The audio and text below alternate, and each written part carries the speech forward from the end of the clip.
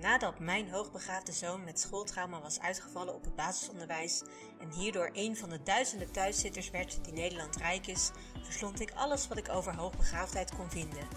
Want hoewel hoogbegaafdheid heel veel mooie kanten kent, kunnen onze kinderen het toch soms knap lastig hebben. Uiteindelijk besloten wij als gezin dat wij de kennis en ervaringen die wij hadden opgedaan wilden delen met andere ouders en leerkrachten, zodat de reis voor hen iets makkelijker zou worden. We doen dit via het boek Een Intense Reis, maar ook via deze podcast, waarin deskundigen op het gebied van begaafdheid hun kennis delen. Want samen komen we verder. Dit is een Intense Reis, de podcast, mijn naam is Marije Hoefland. Hi, everyone. I'm so glad that everyone is listening again today.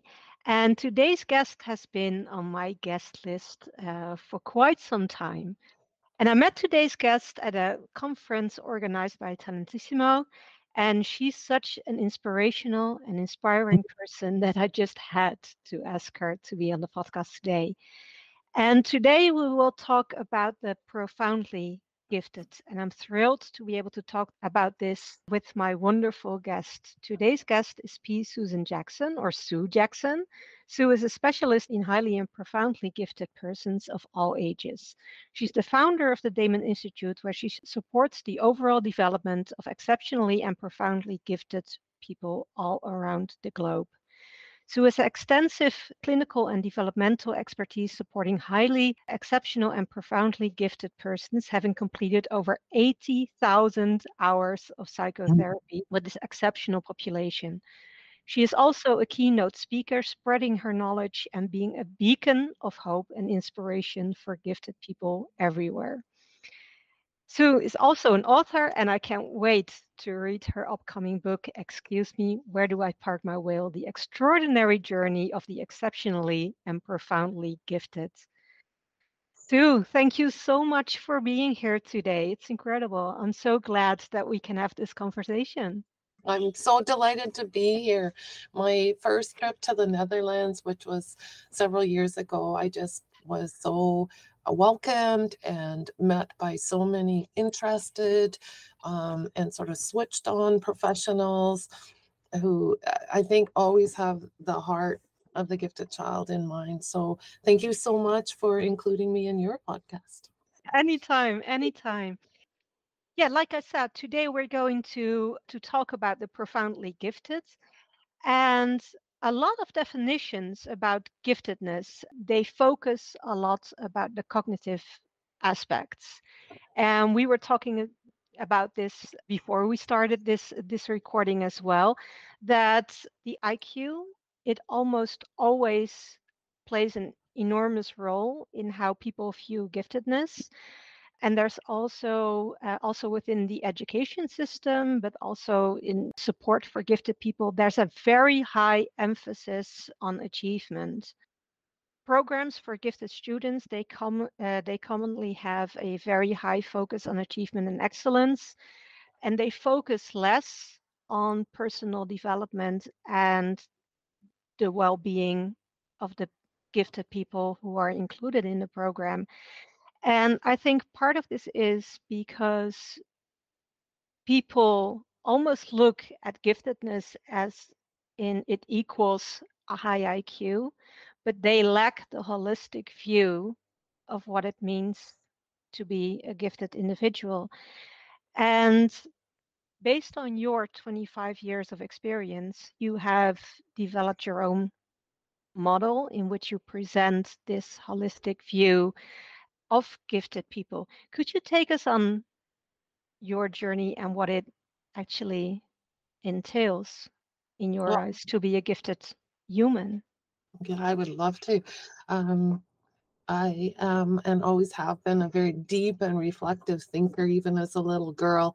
Uh, mm-hmm. When saw pictures of me, I always look like I'm stepping back from the world and taking it all in and thinking. And so um, I fell into the field of giftedness um, fortuitously, um, but in a way that um, kind of like woke me up. Um, I was someone who had moved ahead in school a couple of grades. I was from Mhm. a very um, intellectual, creative family, so I was very, very blessed.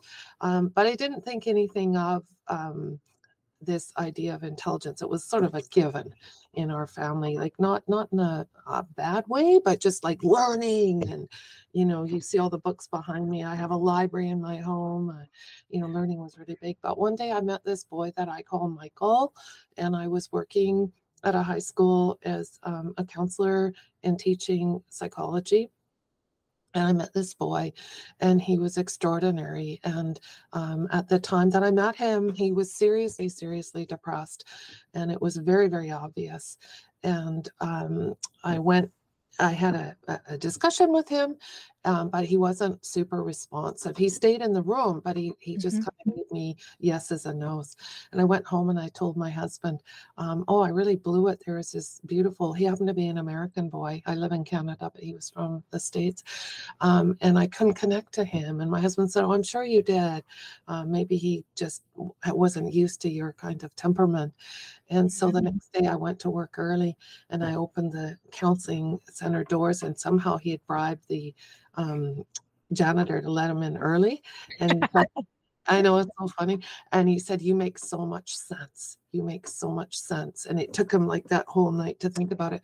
And at that exact moment, I determined at that exact moment, I determined I will study this. I will study this uh, exceptional, exceptional giftedness. He actually had the highest scores. It's kind of interesting I've ever seen. And, and Wow. Working for 25 years. Um, he he was extraordinarily extraordinary, probably plus 200 IQ. Um, and I decided this should never happen to any individual. Um, no one should ever end up this depressed. And that began began a whole journey for me in exploring this thing called intelligence. So if you think about it, my sort of flashpoint or my starting point came from a place of looking at the mental health. So I couldn't help but all throughout look at a whole person, whole person perspective on it. Um, and so there's many other tales that lead into where I began to create my model, and maybe those will come up as we go. Um, but effectively, I um, had studied. My mother was also a psy- psychotherapist, Mhm. and I had been brought up with the scholarly works of Jung as supper table topics. So again, I had a big, big head start. Um, but I fell into the work of uh, a man called Ken Wilber, and Mhm. uh, he does integral psychology, and it's sort of called the fifth wave in psychology, post-humanistic. Um, post transpersonal even and integral psychology is this highly highly highly integrated view on what makes humans human and how we can optimize living fully um, not only does it look at the human uh, being him or herself but it also looks at the environments all of the environments that we interact with um, and and so i thought okay finally something that is big enough and inclusive enough that it will fit the highly like the large whale like Yes. minds of the people that i'm you know i'm involved with that. I feel so at home with in that population.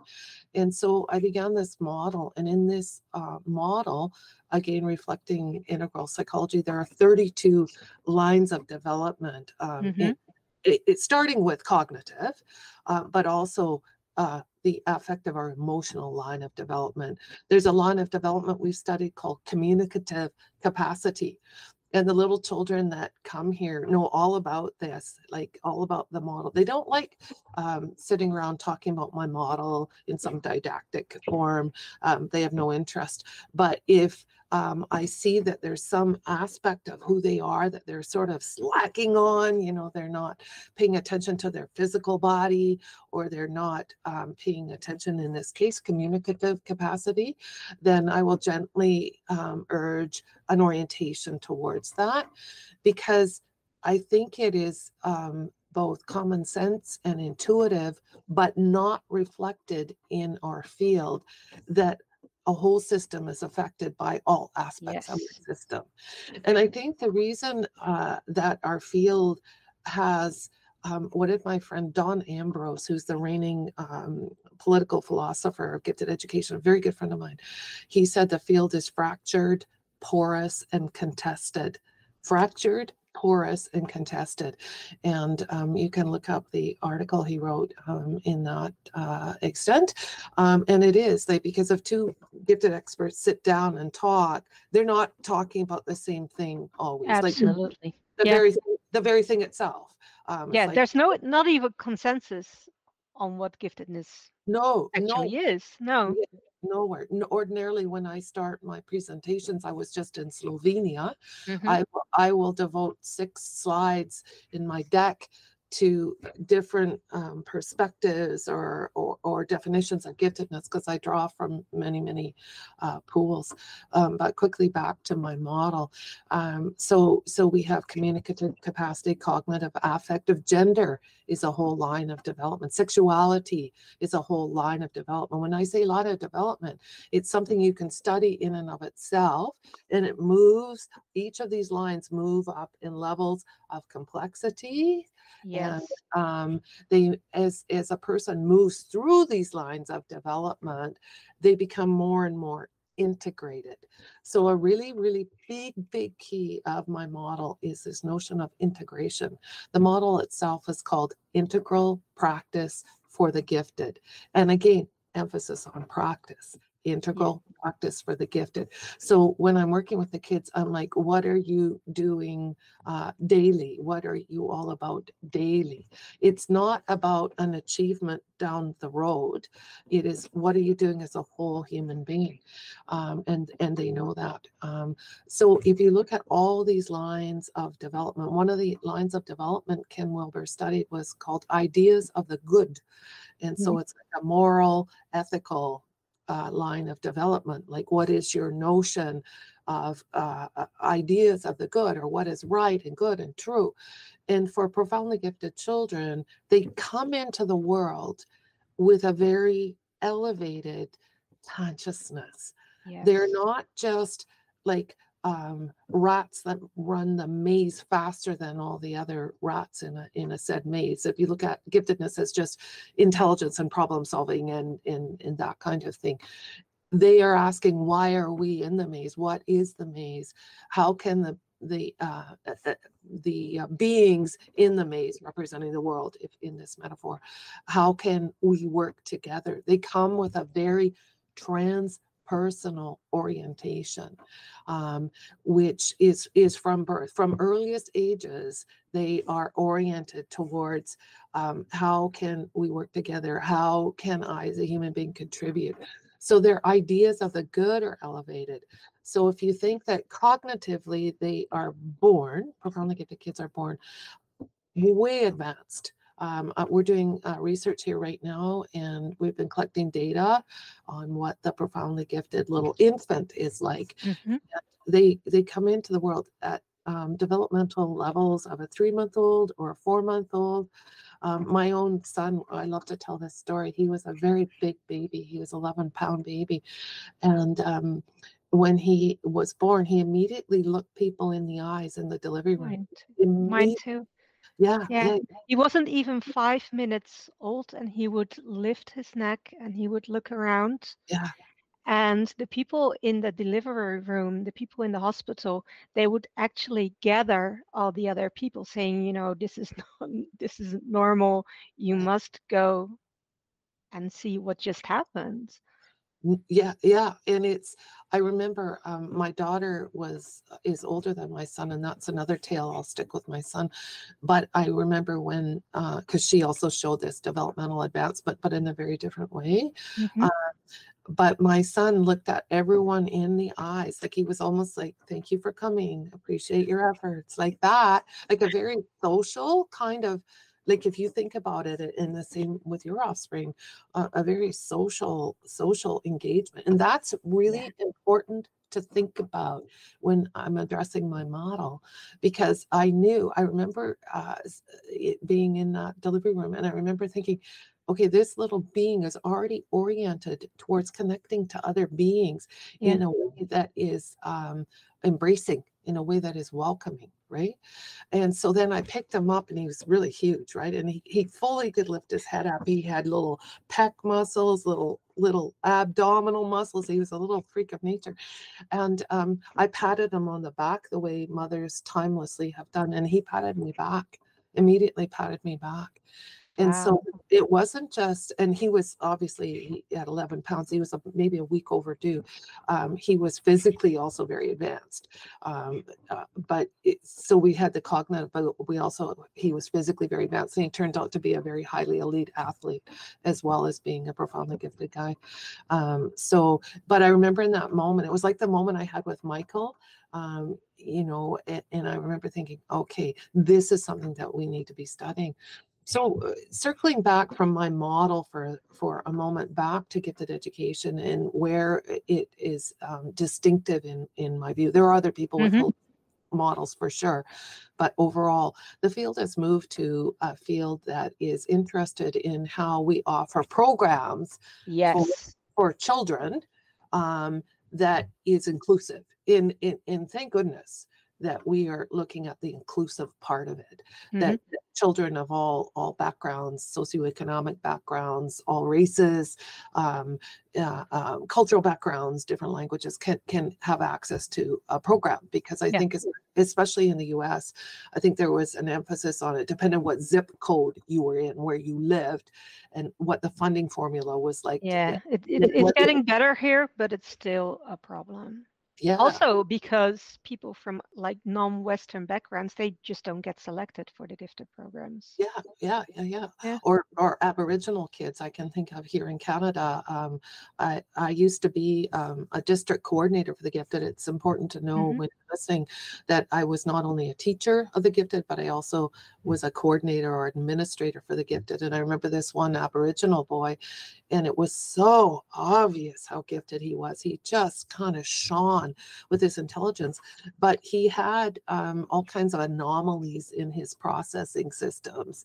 So we might call it dyscalculia or difficult mm difficulty with numbers. He had a form of stealth dyslexia, difficulty um, reading in a way that didn't cost him tons of energy just to read. But I knew how brilliant he was. And he had a very intuitive, intuitive way of being in, in the world, um, you know, in sync with our Aboriginal populace here in Canada. But he was completely overlooked um, in terms of identification systems prior to me coming on board um, because he couldn't perform academically. Yes. In, in a way that people would expect. And so the field, circling back, the field has moved towards a model where it, it kind of opens the doors at, at every juncture for people who can perform in certain areas.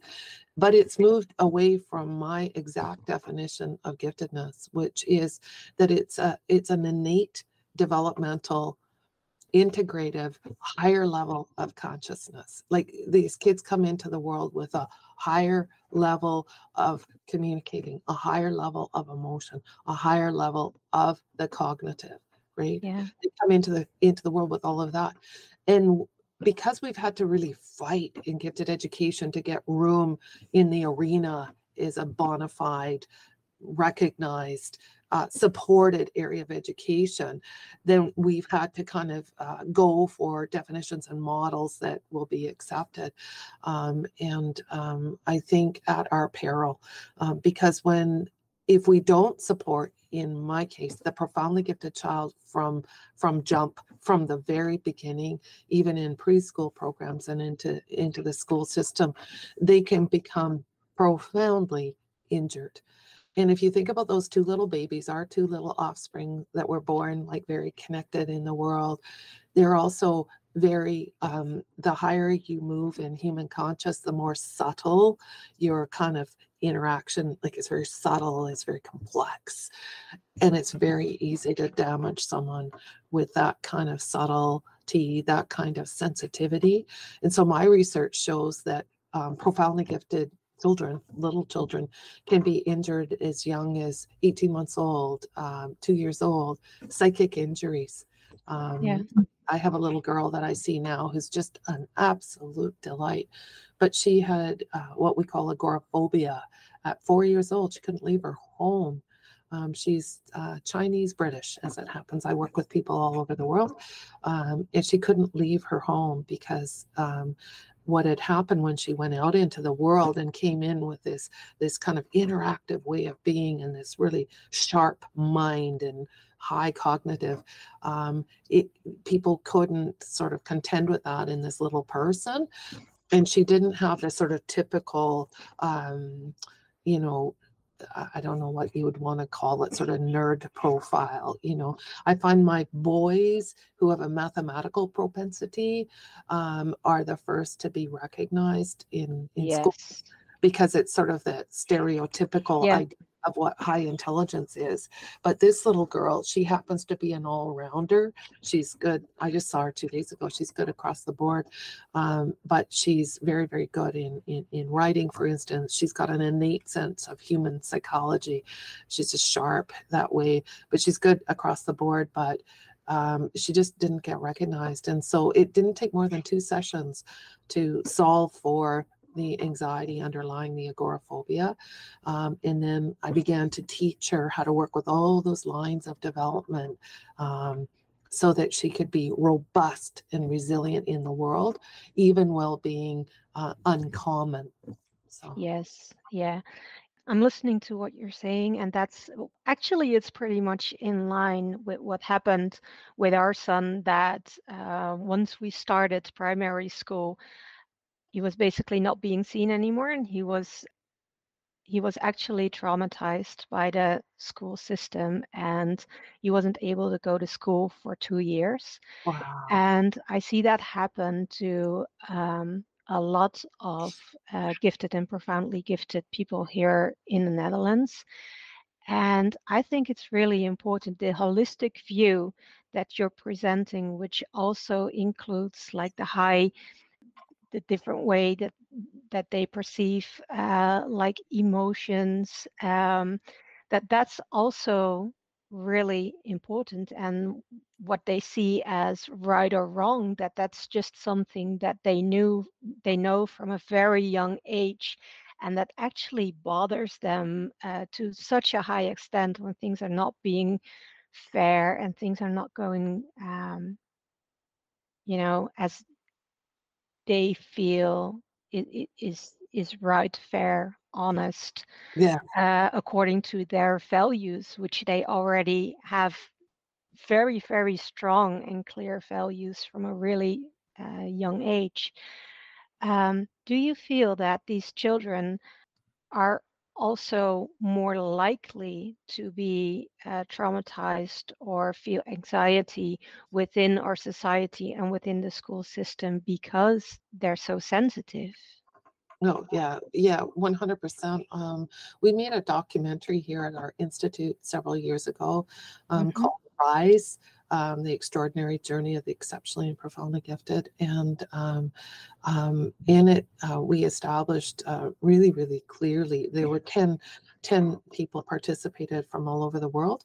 Um, we established clearly that um, this, this heightened, heightened sensitivity um, can become damaged like really early like really really early and and sometimes we there's an adage that we use here and it's called once is a pattern um Yes. because in an in an ordinary classroom if you're going to teach a new concept you need to have seven to ten repetitions for children to get the concept the exceptionally or profoundly gifted child will get it on the first go and they sometimes will have already got it while you're just giving the explanation you haven't even given them the formula or the kind of key key stroke in the idea they will Mhm. just get it so if once is a pattern for them cognitively once is a pattern for them emotionally too and morally.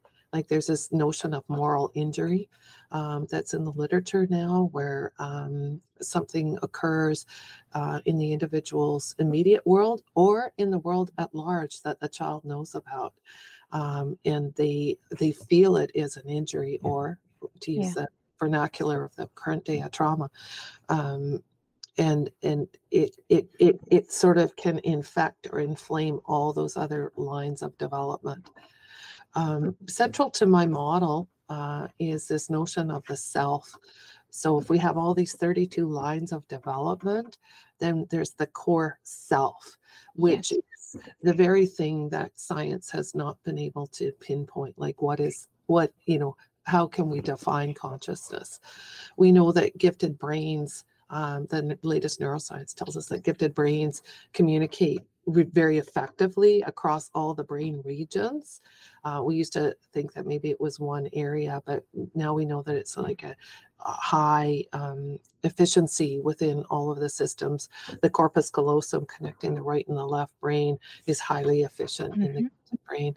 Um, and so, but we we can't determine this idea of self. But the self is that that sort of essence of the individual, and every human being has a self. Um, and Annemarie Roeper, who came before me, who was a very good friend of mine, wrote an entire book on the self and how she felt that was absolutely central to her notion of giftedness. And I had already developed my model when I met her, so we had a great time uh, talking together. Um, but the self of the gifted child is idiosyncratic, it is unique to that person, that individual. And the, the, the role of the self in my model is to coordinate all those lines of development. But yeah. it's it's like an orchestra. It's only as strong as its weakest link. Like, so if the percussion section is out in the orchestra, we're not going to have the same sound or the same effect in, in the world for people listening. And so it is with our um, our experiences in life as a gifted person. So we have to support the self of the child. And you know, having or raising, I guess, um, a gifted boy, is it? I think it's a boy. A boy, yeah. Yeah, yeah. Um, that they come into the world with such a distinctive, like unique um, uh, sense of themselves that they feel tremendous loyalty to. If they're not broken, they feel tremendous fidelity to this yeah. core self. And that's what we support. And the thing that's extraordinary about the model that I have uh, been working on for over 30 years is that when you support that self, when you deeply listen to who that child is, that unique consciousness, a lot of things sort of self correct, right? When you remind them that, oh, your kinesthetic um, line of development is also very important and we'll call this guy johnny johnny. So you need to have a physical component to what you're doing and so um, i just have extraordinary case studies where when you support the self of the individual and they're working in all these areas of development their achievements are through the roof. They're they do amazing things. As a byproduct of being integrated is a byproduct of having their core self seen. So it's the exact opposite of trauma. Would you say that that's the most, because you say when they're not broken, yeah. would you say that uh, I assume that a lot of the gifted individuals who come into your practice, they um, first see you and they feel broken. They are broken. Would you say that um, this journey to find yourself and to know what it is you need in order to be able to be your authentic self that that may be one of the most important things to um, become unbroken to become whole again and to thrive as a gifted individual. Yeah uh, uh, 100% um, uh, what's really interesting about my practice is that people often will come because there is a, a, a problem or a complexity that isn't working in them. Um, but they'll often stay involved with me for many, many, many years. Mm-hmm. So that probably 60% of my work is developmental support for their profound giftedness, where they come in and um, they've moved through these stages of life, and now they're they're they're hungry to kind of like move out and find out more about themselves. And again, I come back to the self. So by there's a young man in that I've actually known since he was five years old, and he's 19, and um, he has done some education and done extremely well and he's explored this and that but he came in the other day and somehow i just knew i had to be at my deepest of listening and not say very much. And um, i did that and then um, his mom contacted me later and said that he just felt like a different human being when he left because it was like everything just lines up again and and a lot of the great thinkers the great philosophers as as far back as socrates who said know thyself Yes.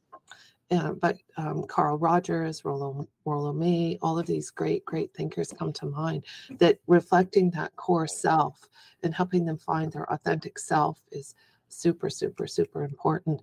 I have a couple of other things that I think are equally important. Is one is for the individual individual to develop self-discipline or rigor Mhm. with themselves. So um, in all the lines of development, cognitive being one, it's important to be able to apply rigor to what you are learning. Um, to, How do you- steadfast, to be Yeah. steadfast. How do you deal with? Because I assume that when a lot of individuals who come into your office, they are broken. There may be trauma. Some of them may so uh, show signs of uh, dissociation and you know have really low motivation. How do you approach the step for them to to take control over their own life and to to develop that that sense of self-discipline? Yeah. Well, that can sometimes be a very long journey. Yes. And and sometimes I've actually had people integrate in one hour. It's extraordinary. I had one girl fly in from New York to see me, and I knew I didn't have a lot of time with her. Um, and so in one hour, we somehow pulled it together. Um, but I'm just going to pull into my own mind um, the last three people that I did intakes on, um, where they came in with significant clinical presentations, disassociation, um, high depressive states, and, and whatever. So you begin with just just having them share where they're at. But the person that is listening cannot have in their mind an outcome. They can't have, it's the complete opposite of some of the um, cognitive behavioral approaches, which I Mm. also I also use, of course. Um, but this kind of deep, deep listening and deep connection is just to just stay present to to who who they are and what they've experienced. And so again, I trust the self of all individuals, um, but I in in a therapeutic set, setting, I trust that that self, if it's deeply reflected, then that will itself be a healing a healing experience. Um, and there are many um, psychotherapies that believe that that reflection and that authentic listening in itself is is very very healing. Um. What's interesting, I can think I'm being very careful to kind of meld cases together, so I'm not talking about one person. Yes. Yeah, just so that it, um, I would of course never say a name, but I also don't want to reveal a personality. But I can think of this one situation where a young man had been horribly tra- traumatized in grade two by a teacher who um, couldn't understand him at all, was very annoyed with how he could just um, perform on tests, but was otherwise kind of vacant feeling. And so he had been horribly traumatized. And he's a very musical young man. Um, I would say musically profoundly gifted. And what was so fascinating as I worked and worked and worked with him, because there's a musical line of development, is um, we would go through something very deep in conversation or in maybe art therapy where he's just drawing his feelings or even movement or play therapy. I use all kinds of ways to communicate. Yes. He would then, every time he reached a new level, he'd take on a new instrument. So at one point, he was playing the accordion in the waiting room for Christmas. But uh, imagine Christmas carols on an accordion. It was very funny. Um, and he took that instrument up. And then at another point, he um, um, took up most recently, he's taken up the saxophone. He's taught himself the flute. He plays the piano. And I mean, at an extraordinary level. But what would happen for him to integrate it all, he would have to work through that musical line of development. Um, and I know at some point there'll be other lines he can use, but for now, as he was healing from the trauma, he had to use his really Yeah. kind of core gift, which I also find fascinating because I think that um, some kids come into the world very multi-potential. Um, so they have all kinds of gifts, and some some kids come into the world with one or two gifts that are their strongest gifts. Um, and yeah, it's just fascinating to me. But the the deep listening, and also with years and years of experience, I probably know what questions to ask and when. And I think pace is very very important. Um, there's a time to be um, a little bit demanding with a person who's healing and and ask them to kind of step into the room a little bit more and Yeah. hear something a little a little more with a little more clarity we'll say and there's a time to be very very very patient uh, because trauma as you know can be extremely debilitating and system wide it can show up in your whole system Yeah. the word the word that comes to mind when you're talking like uh, about the way you approach situations where people are experiencing trauma but also the the music the word that comes to mind that seems to be very important is the word connection being connected with life again with all with human beings with um with music and I know that in your uh, in your keynote at Talentissimo, you were also talking about the cosmos and spirituality yes, yes. being, yeah, playing a really large role uh, in this as well. And I remember when I saw you back then, I was recovering from uh, cancer. I'd actually just had uh, surgery uh, back then. Um, and I was going through this whole personal development phase and asking all kinds of questions like um, how is my spirituality and the connection that I feel towards nature, towards life, towards the cosmos, is that somehow related to um, being gifted to um, uh, trauma and the way that I experience things like trauma and anxiety and things like that. And there you were talking about this in your keynote. And I was like, I'm not crazy. no These are actually va- valid questions that I'm I, Yeah. I'm asking here, and that was such a relief to me because I felt like you know I was out there, you know th- that I was asking these questions that people would uh, just um, yeah feel are too out there, and then you were mentioning them as well, so that has made an incredible difference for me at the time. You were nodding when I was talking about, you know, that spirituality and that connection to the cosmos also playing a role in what we just discussed, that that connection to life and that that's what you need to recover from trauma and also to find that self uh, we're talking about. Could you elaborate on that yeah, a bit absolutely. more? How do you see that? now i remember where you were sitting in the audience I know exactly you were to my left, and you're Yeah. sitting beside a woman with dark hair. I remember Yes. exactly who you were. Um, I'm so glad. I'm so glad that that's made an effect. Um, I'll give a little bit of a technical explanation and then move into a more of a lyrical or um, poetic interpretation of what you're asking. So, in the model, I talked about everything moves up in levels of development. And so, if you think about it, let's say a, a child is fortunate enough to not have tons and tons of injuries, or I suppose fortunate to heal from injuries if they have them, which sometimes catapults you up a level. Um, and the Dabrowski theory um, really would address that idea. Um, but as you move to higher and higher levels of consciousness, you become more and more and more transpersonal in your views. You become more and more aware of yourself as a, a part of a beautiful, beautiful, beautiful mosaic, which is life or the universe. Um, and I tell my kids, you're just a tiny dot in the spectrum of the universe. And they're like, what? And I go, you are. You're this little tiny dot. And I said, but each dot is incredibly important because it forms the whole.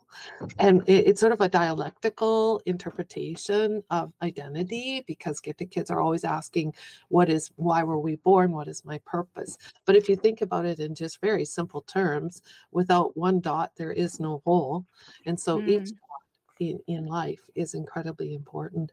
And so gifted children um, will come into the world with that orientation and it kind of can come into the world in a bit of a neophyte or a germinal state. Um, I'll introduce my daughter a tiny bit here, who is an artist and a humanitarian. And she she actually flew into um, Slovenia to hear me speak because she was on her way yeah. to Paris. Yeah, I saw her in the Netherlands as well. She was with yeah. you as well. Yeah. yeah. Well, our, our careers are such that we can meet in Paris or meet in England or come to the Netherlands. And so when she she was very different from her brother she was very contained at birth like a little madonna like just sort of looking at the world mm-hmm. um, and she showed this remarkable art talent really early which quite frankly as a parent was a bit um, daunting i didn't i didn't know even with all my expertise i was like i remember thinking this must be handled very carefully and, and I, I extend this to all the families out there. When a child shows a profound gift we must really pay attention to it and and and sort of i call it the daimon. Socrates yeah. referred it to it as the daimon which is deeply connected to the self. So basically the idea is you come into the world and there's these ways you have of connecting to the highest level or spiritual essence of all of existence but it manifests in certain ways. Um, so it, with my daughter, she was always picking up trash when we were out at the at, you know the county fair or walking in a park. She'd pick up trash, and we thought, oh, what, what is this? A little environmentalist? Like what is she? And then she would come home and she would make creations out of them um, even when she was really, really little. Um, and she had several experiences um, throughout her life where she was very shy as a little girl, but she would stand up for somebody or something yeah. like out of nowhere. And, and mm-hmm. she just wouldn't back down. And um, we used to say uh, to each other um, as she was growing, she seems to need a whole country to run, like a whole, she needs such bigger opportunities and bigger influences because it was obvious that the little things she was doing were connected to a sense of a principle, a spirituality, a consciousness that was way beyond four years old, five years old. And, and it's funny now because she is out there in the world doing very her latest thing has been uh, a child labor law that's going to be enacted here in Canada. And wow. she's presenting with the Prime Minister um, her painting. Um, I'm not sure when the date of all of this is, but um, so um, so anyway, as you move to these higher level of consciousness, it's a it's a very transpersonal. There, it, it's it's a very much an I thou um, perspective, which is another way of looking at it. The children see other people it, eh, not as objects to be moved around, but is is an entity just as important as their little dot, and to be re- regarded in that way. So as all those levels move up, so at the highest level of communicative capacity, for example, um, I've got one boy right now who's at a university somewhere, and he sits down regularly with the president of the university, um, and he was helping uh, with the COVID uh, policies um, because he just has an extraordinary ability to communicate now. And the punchline is, you know, he's 17 years old and he's finishing his bachelor's degree, so he's way advanced, but he's way advanced in all areas of development. The one with him that was hardest to get him to buy into at first was the physical, to have a daily practice yeah. of movement and being in nature, because all of these integrate. All of these integrate. But once he kind of uh, caught on to that, once my kids catch on to how powerful this is, they don't want to leave any of their areas behind. They want to work on all of them. Uh, this just gives me goosebumps. Um, and I love that, you know, um, he seems to have found his place uh, at university and he's actually being seen, being recognized, and being allowed uh, to be his full self. How was that with your daughter? I can imagine that. Uh, I mean, you understood and your family understood, but th- there must have been a lot of people around her who just didn't accept that kind of behavior from a four-year-old? Yeah. Yeah. Yeah, she was um, oftentimes misunderstood. I hope she doesn't mind me saying that, but um, she was just oftentimes very misunderstood, and partly because um, uh, she's um, an introverted personality in that she processes everything internally Yeah. uh, before she puts it out there. And it's not now that um, she's in her 30s um, now, and it's not that she she's what we call a pistol in Canada. Like she can hold her own in terms of standing up for human rights or whatever. She she and I are both supposed to be speaking at the UN coming up actually on on issues of relating to women worldwide. We're just waiting to hear about that. So she's very good, but she was hugely misunderstood, partly because she didn't put out what she was thinking and feeling easily until maybe it hit a point or or uh, um, a turning point where she felt she had to stand up. Which you juxtapose that with our son, who was born communicating. Like uh, he has um and it's not that our daughter doesn't now but as a child she was much more internal. Um so yeah she was misunderstood a lot of the way. Um i think her art always shocked people she was highly accelerated in art Yeah, Uh, very expressive. yeah yeah, Yeah, it's amazing. she she captures like i was i forget who, essence. yeah, yeah yeah Yeah. yeah, when I was in Slovenia, I didn't, I sometimes forget that, you know, she's quite well known or something. And I said, Oh, we have a daughter. And then everyone started putting their hands up and saying, Her art is like the soul. And, and I was like, Oh, yeah, maybe some of you have seen it. Um, but yeah, she just, she just captures that. So she was, she was misunderstood a lot of the time um, for what her needs even were. Yeah. Um, so it, it was, it was difficult. I, I again I go back to my math kids. I I have a lot of kids here at the clinic um, who are wildly accelerated in mathematics. They're doing calculus at eight years old, you know, which is like you know fourth year university stuff they're doing at eight years old, and they're they're more easily recognized for being profoundly gifted. But then then comes in all of the falsehoods and Yeah. myths about what would work for that kind of a child you know, like, oh, he couldn't be accelerated. That'll be hard on his social. When in fact, the child's social is um, concomitant with all aspects of who he is. It's in line with all aspects of who he is. So, again, how do you work with that? You work with that. I call it radical programming. Radical means back to the core. That's a Latin meaning of it, back to the core. So Mhm. you figure out kind of what the core self needs. So maybe that little guy needs to be um, studying at university for part of his math, and then maybe needs to be in a chronological age for some things. Um, I've got several kids doing that where they do choir or physical education with kids their age, and then maybe they do other aspects of their education at another level. So it requires great system flexibility and cooperation. But why in the world, and I mean in the world, would we not want to offer flexibility and understanding for the most um, elevated, the most potentiated of all human potential? Because those are going to be the people that can help solve the world problematique as we know it. They're going to be the people that can can can encourage communication across cultures, et cetera, et cetera. What is your experience uh, within the education system worldwide? Do we allow these, you know, wonderful people?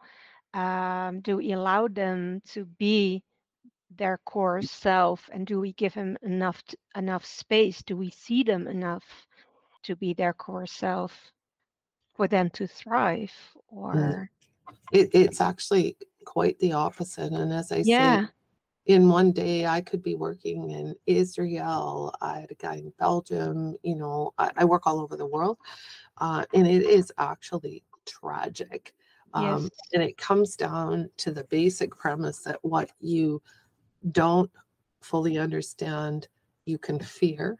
It's just human nature. It, it goes back to the earliest times. You fear what you don't know because it could cause you harm. And then, and then if you fear something, then you can develop a whole sort of set of myths around something that you're not able to understand. And that's where we're at with our brightest kids. Um, actually, one of my boys was attending a school in um, the US that was a school for the highly gifted, but he's profoundly gifted. So he's a couple standard deviations beyond these highly gifted kids. So he's as different from them as they are from an average kid.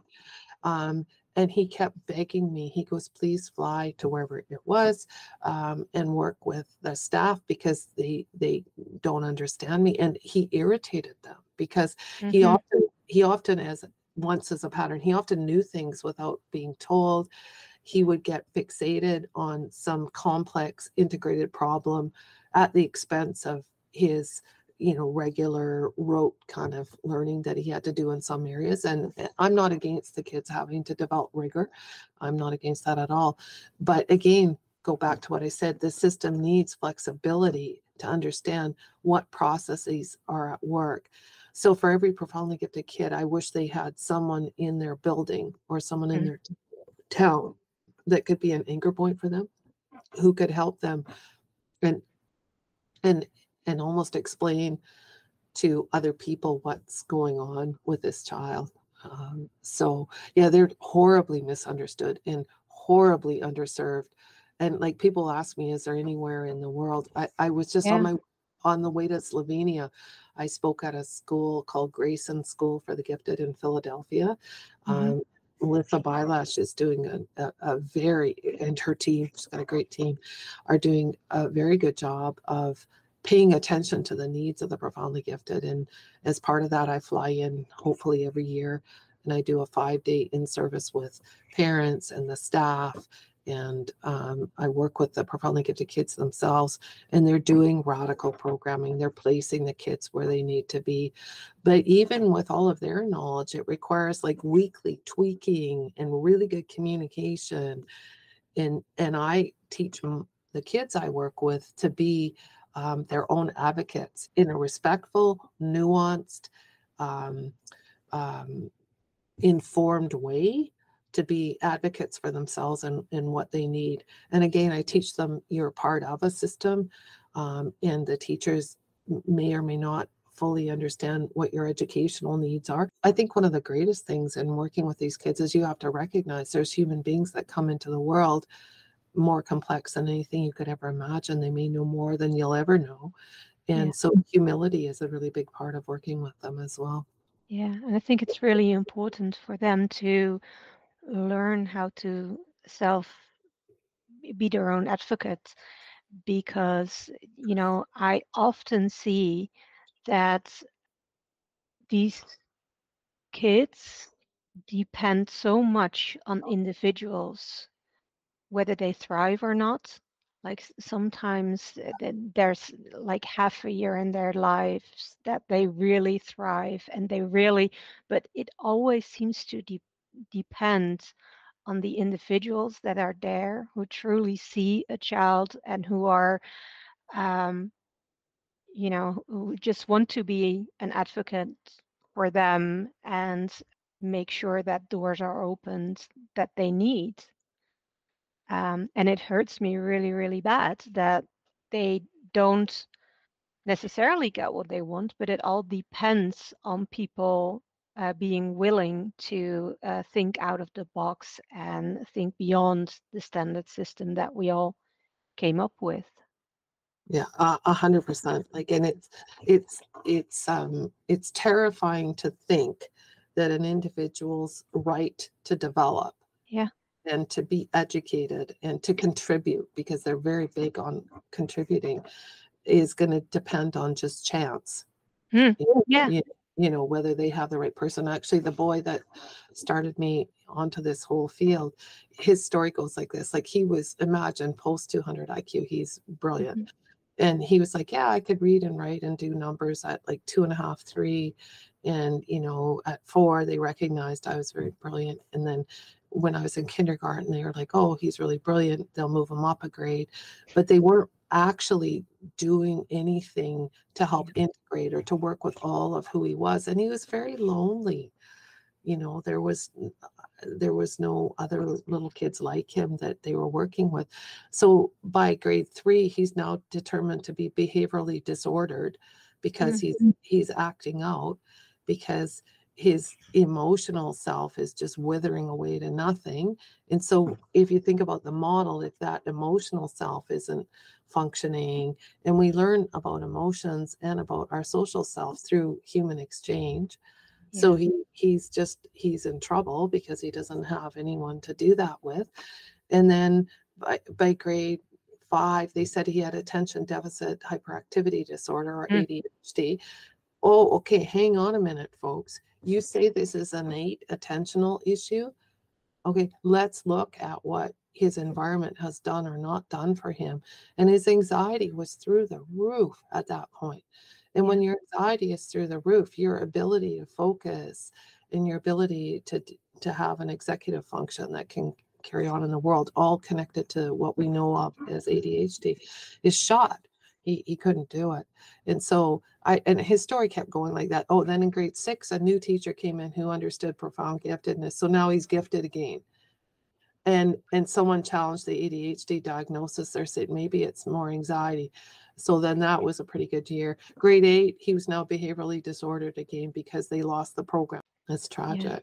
Yeah. It is really tragic, and you see that a lot. And they more often than uh, than not, they make a child feel that there's something wrong with them, that they should adjust when it's not.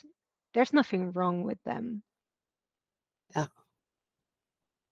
But we need to allow them to find that authentic self and allow them to um, yeah to to have what they need in order to thrive yeah 100% and and that leads to another point that we should underscore and that is the need for true peers they need they need an opportunity to be with other like-minded individuals.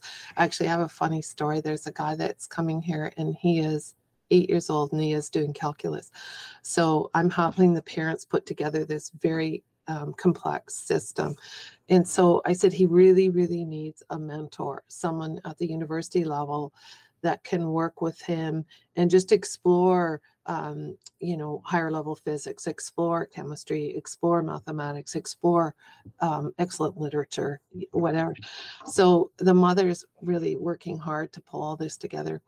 And so then he tells me he has a, a, mentor, and I'll just make up a name. He calls him Patrick. And I said, Oh, this Patrick sounds great. And I'm picturing in my head, um, the boy is eight. I'm picturing in my head like a guy my son's age, like in his early 30s, who's doing a PhD, and they go for walks together. And it turns out the guy's in his 80s. And um, and wow. my this is the best part of my kid's week like because he gets to go and sit down with Patrick and just discuss things. And Patrick also understands the need for rigor, so he gives him assignments and he he he, he asks him to step into that um, self discipline. But he's like in his 80s, and just the way he discussed um, his interactions, I thought it was like a little playmate. My point being that true peers can be of any age and any background. Um, and if in the system in the Netherlands, there's any opportunity to group highly profoundly gifted kids together, even if it would have to be across districts or whatever, it is life saving. It is yeah. life Yeah, I think there should be a lot more focus on that because um, right now there are peer groups within the Netherlands, but they're all also age group based and they're all like highly uh, and profoundly gifted individuals all together in one group. But the difference can be can be a lot. So it's not like they're groups of all ages and i love your example that you know you don't even have to be the same age. No not at all.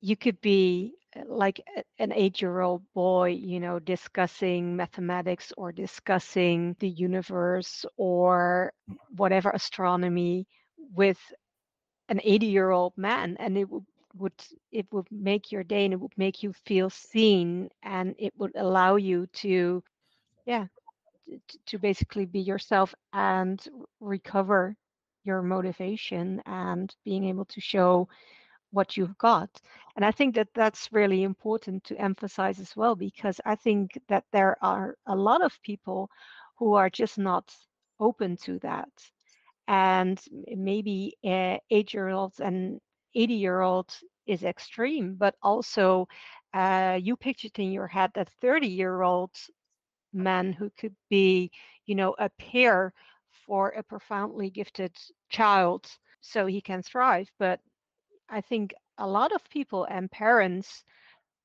it's just uh, for a lot of people it's frowned upon. It's like you know what what should a 30 year old individual do with an 8 year old boy? And i think it's very good to emphasize that that's something that that something is sometimes just what they need because it's it is really really really difficult to find your peers and they're lifesavers they're essential They absolutely are. I I have at the clinic we could have someone fly in to see me from the Netherlands and then in the same waiting room could be someone who drives two hours every two weeks from the US because I, I live very close to the American border. And it's so funny to me because across language, across gender, across background, even across language, they recognize each other. And it's immediate. It's immediate. And there's a curiosity and there's an acceptance. Sometimes, however, if they've been really traumatized, they will act a little defensive because they're uh, too afraid to put themselves out there, their authentic self out there with someone who appears to be quote unquote on their wavelength or similar to them. Because what if that person rejects them? So, um, Yeah. a, large, a large part of what I do is um, uh, hopefully being sensitive enough to see the defense mechanisms that people have put Mhm. into place to survive in the world.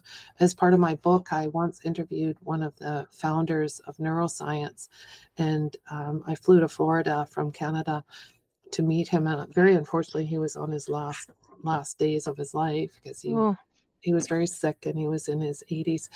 Um, but we had this amazing conversation. And at first, he was kind of rude with me, to be honest.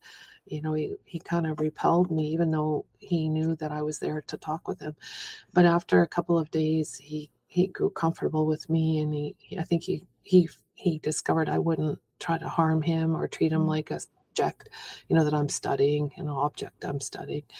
Um, and he said, Oh, I developed protective camouflage, he said very early. I learned to change my vocabulary, to change um, my, um, you know, my deep inner thoughts, to not share them with anyone because they wouldn't be understood, they might be laughed at. Um, and and again, human beings from time immemorial, what they don't understand, they may fear, and what they fear, they may defend against. And so that sensitive, sensitive, gifted child becomes a thing people are defending against. Even teachers will do that without realizing they're doing it. Um, uh, because they, it, how often do you run across a profoundly gifted kid? Um, I'll talk to doctors all the time, and they said, "Oh, I had this kid, and he was so different." And I said, "Oh, he's in this um, small subset of humanity called the profoundly gifted. Um, we seem to do much better with them after they're long gone. We're like, oh, Hmm. that that Albert, he was a real little firecracker, Albert Einstein. But if you but if you were the poor teacher that had him in class when he was or wasn't paying attention, um, it might not have the same welcoming feel to it, right? absolutely absolutely do you feel that uh, you know that mirroring like mirroring yourself uh, in other individuals is something that we need in order to have good self-esteem and in order to be able to know and experience that we can be safe with other people and we don't need that mask in order to protect ourselves Oh, 100%. And that that's that's very, very, I find it very tricky for me now because sometimes when people meet me, they'll almost be shocked at how quickly I can see who they are. Mhm. Um, but if you think about it, I've been doing this a long time and I've been working with the greatest of individuals who've been also my teachers. Uh, I, I feel that every hour that I work, I should be learning something um, from the individual. I should be surprised. I should challenge myself and think, oh, what I thought yesterday is not what I'm thinking today because this individual has added another dimension to my thinking.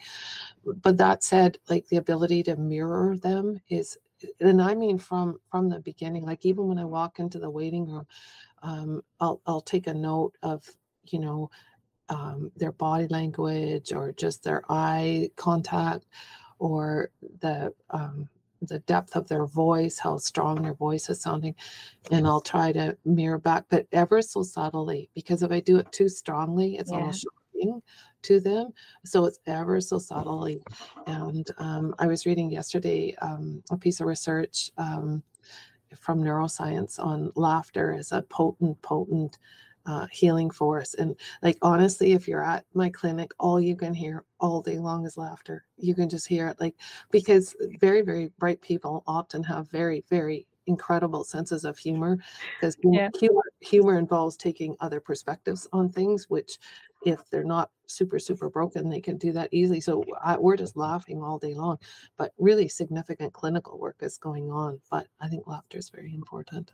Yeah, absolutely, absolutely. And I love the fact that you were able to go to Florida and be that mirror for, you know, the, the, the professor, the man that you met there, so that he was able to experience this just before he moved on, basically. That, Yeah. yeah, must have been, yeah, the, the universe must have had a plan.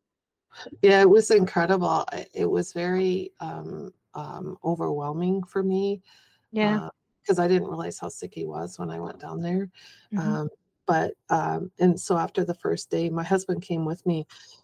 So after that first day, I debriefed with him, and then I decided, like, no matter what, I'm going to try to just be the best mirror I can be for this individual. And um, yeah, he was an incredible guy, one of the founders of neuroscience. Lovely, lovely person. Incredible. Sue, I really want to thank you for this wonderful podcast. I think we touched upon a lot of things. I could talk to you for hours, but you Mhm. know, I know that there are other people who are waiting for you as well. Is there anything that we haven't talked about that you still want to address in this podcast? I, I just want to, I, I guess, speak to all of the parents that are out there. Like, I, I don't glibly state, oh, it's very difficult without every night before I go to sleep thinking about how important it is for all of us in this field, whether it's the gifted education um, model operating in Canada or the US or Mhm. the people in your country. I think it's incredibly important that we work together. So just like the little kids that I work with, I have this sense that it's important that we all link, that all those little dots become this giant, giant mosaic of care and intention and um, um, support for these incredible individuals. So if you're out there as a parent, um, please know there are people working on your behalf. I think those are incredible last words, and it brings us back to how everything is connected. So thank you. Okay, thank you so much. Dit was weer een aflevering van Een Intense Reis, de podcast. Fijn dat je luisterde. Heb je naar aanleiding van deze aflevering behoefte aan hulp of begeleiding? Via www.eenintensereis.nl help ik je graag verder. Op deze site vind je ook meer informatie over mijn boek Een Intense Reis.